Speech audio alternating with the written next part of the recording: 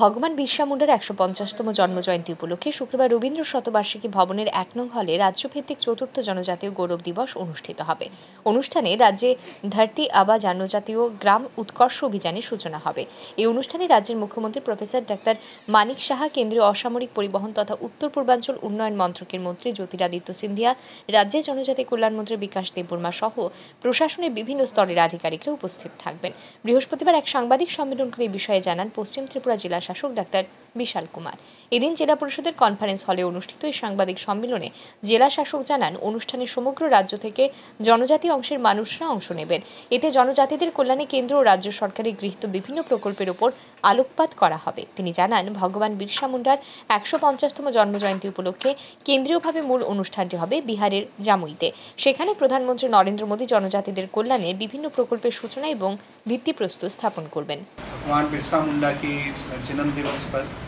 कई tribal development schemes का launch किया जाएगा और देश के हर एक प्रदेश में uh, इस प्रोग्राम को टेलीकास्ट uh, किया जाएगा और साथ ही साथ हमारे प्रदेश में भी सुबह 10 बजे से इस प्रोग्राम का उद्घाटन माननीय मुख्यमंत्री ji Shri doctor professor doctor Manik साहब सर द्वारा और honourable minister DoNER Shri Jyotirao Scindia ji द्वारा भी किया जाएगा ये प्रोग्राम रविंद्र भवन में कल सुबह दस बजे से होगा जिसमें हमारे पूरे डिस्ट्रिक्ट के अलग अलग कोनों से हमारे जो ट्राइबल और नॉन ट्राइबल भाई बंधु इसमें शामिल होंगे इस प्रोग्राम में कल्चरल आइडेंटिटी जो नेशनलिज्म ट्राइबल नेशनलिज्म की बात होगी साथ ही साथ गवर्नमेंट के द्वारा जो स्कीम्स चलाई जा रही हैं ट्राइबल के उत्थान के लिए उनके डेवलपमेंट के लिए इसके ऊपर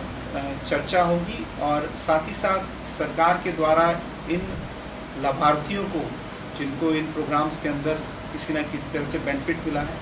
उनको प्रोत्साहित किया जाएगा চতুর্থ জনজাতীয় গৌরব দিবস উপলক্ষে শুক্রবার সকাল সকালই রাজধানীর বিবেকানন্দ ময়দান থেকে একটি র্যালির সূচনা হবে সেই র্যালিটি রবীন্দ্র শতবার্ষিকী ভবনে এসে মিলিত হবে তারপর সন্ধ্যা পাঁচটা থেকে রবীন্দ্র শতবার্ষিকী ভবনের এক নং হলে জনজাতি লোকনৃত্য ও লোকসঙ্গীত বিষয়ক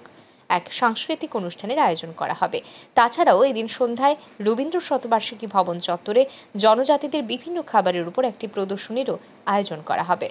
bureau report R E news